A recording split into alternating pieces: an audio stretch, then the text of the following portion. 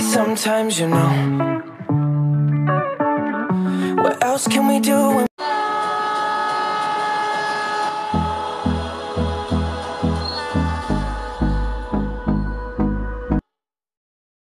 Assalamualaikum warahmatullahi wabarakatuh. Di video kali ini saya akan memberikan informasi apa yang dimaksud dengan rel gongso pemirsa. Soalnya dari kalangan masyarakat yang awam pasti kurang paham, kurang tahu apa itu rel gongso. Nah, untuk itu dalam video kali ini saya akan mengupas memberikan informasi. Tapi untuk ke tahap video selanjutnya, jangan lupa untuk like and subscribe untuk mendukung channel ini. Nah, ini yang dinamakan rel gongsol, kawan. Rel gongsol itu rel tambahan yang dipasang pada tikungan yang sangat tajam.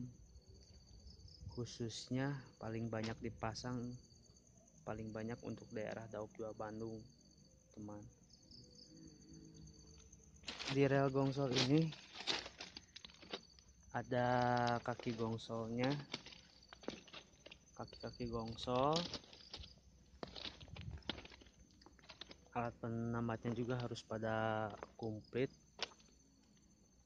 kebetulan ini pasca hujan jadi kelihatannya basah. Pada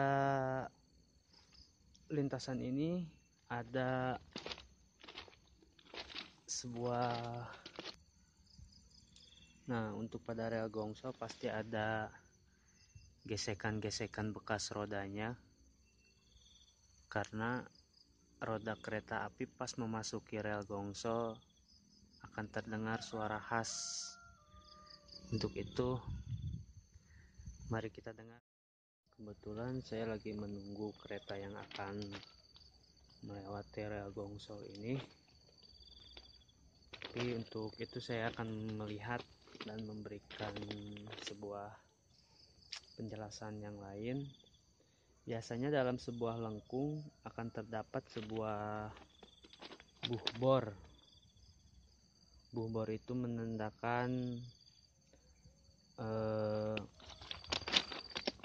lengkung ini radius radiusnya R200 AP-nya 250 PLA-nya 34 tinggi normalnya 85 lebar sepurnya untuk ini 1087 sudutnya 143 derajat 47 dan volumenya 45 biasanya setiap lengkung ada papan buh bor ini supaya tidak lupa dan untuk menjadi patokan dalam sebuah angkatan dalam sebuah lengkung ini.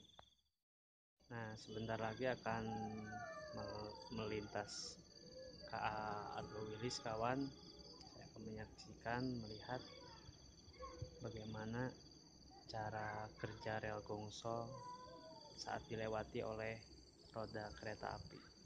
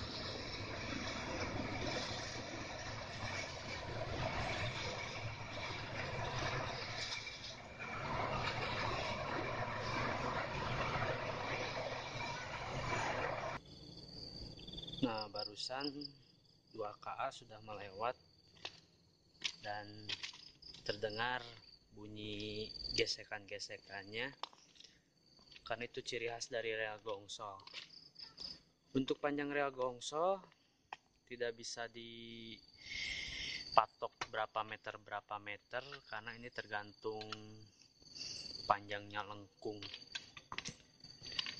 Nah untuk itu saya akan coba maju ke depan. Ini kurang lebih berapa meter panjang rel gongso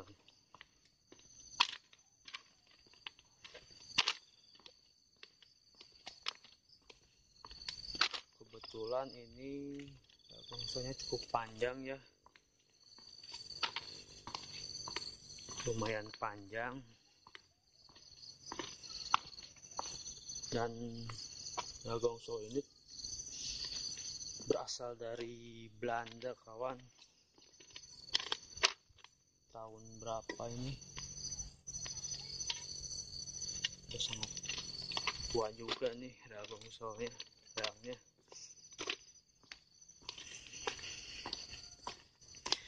nah untuk mendukung channel Cowboy Sepur jangan lupa like and subscribe. Sekian dulu informasi dari saya Semoga bermanfaat. Assalamualaikum warahmatullahi wabarakatuh.